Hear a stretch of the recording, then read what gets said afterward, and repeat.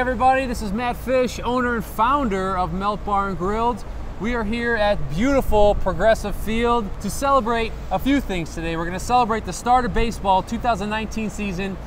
Our good friend Michael Mintz from Bertman's Ballpark Mustard is here with us today because we're going to talk. One of my favorite things on earth is mustard. And their brown mustard is by far the greatest thing on earth. I eat it on almost everything at my house. A couple years ago, where we partnered up to use uh, Bertman's Ballpark Mustard as the not only the tabletop mustard at Melt Barn Grilled, all 10 locations, but we actually use their mustard in bulk in a couple of our recipes that we produce for our full service menus. So we thought it'd be fun to get together. Michael, tell us about this beautiful concoction inside this plastic jar here with the brand new logo I see. Bertman is actually the oldest partner of the Cleveland Indians. Been wow. around, um, I mean, it's really uh, one of the iconic brands. We're, we're really thrilled with our partnership with the Cleveland Indians.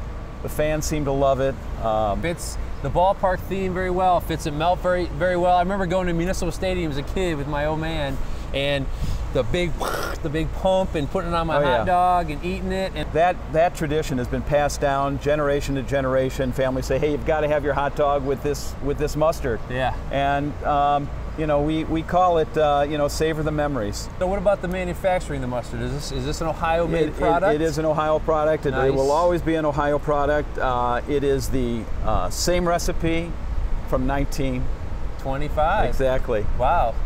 So is there like a handwritten recipe that you guys have in some vault someplace, kind of like KFC has their 13 original spices all locked away? It's too it's too secret to even tell you that, man. well, we use Bertman, like I said, in a couple different recipes at Melt Bar and Grilled. It's our tabletop mustard. Um, we actually have a sandwich out for April, May, and June called the uh, fried green tomato BLT that actually we make a sauce mm -hmm. with this mustard on there. So it's a spicy kind of Creole mustard kind of sauce that's on there with uh, fried green tomatoes. Hickory, I've tried it. Hickory bacon. yeah, it's a great sandwich. It was a fan favorite sandwich. Well, another nice thing about Bertman is that it, uh, and we, we, uh, we put this initiative out uh, about two years ago, where we call it a little bit outside the bun. It works really well with recipes. Mm -hmm. uh, you created a great recipe with it. You know this well. Yeah. Uh, we've got uh, people like uh, Michael Symon. It's the basic ingredient of his barbecue sauce. Yep. Uh, many chefs are starting to use our mustard. It just mixes real well with salad dressings and uh, all types of mixtures. we've got some friends in Dallas, Texas use it on a on their salmon.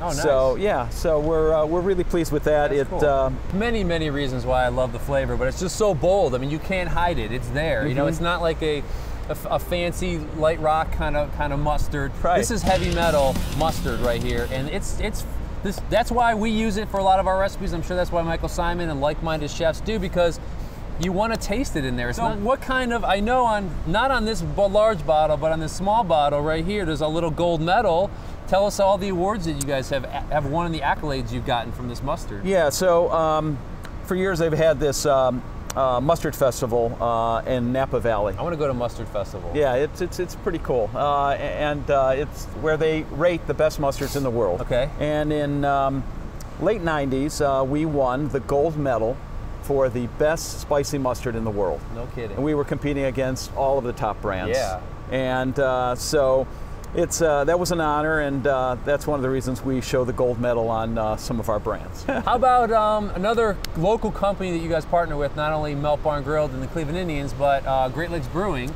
Correct. Tell us a little bit about that. Well, uh, a few years ago, um, Great Lakes Brewing Company came to us and they wanted to create a beer mustard. So it was just like kind of a natural. Yeah. Uh, we created the recipe.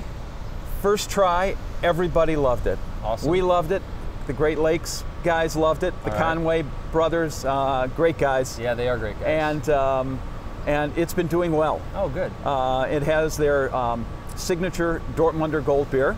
Fantastic. And uh, it's a more of a um, stone ground mustard. Uh-huh. Uh, had a little bit of spice.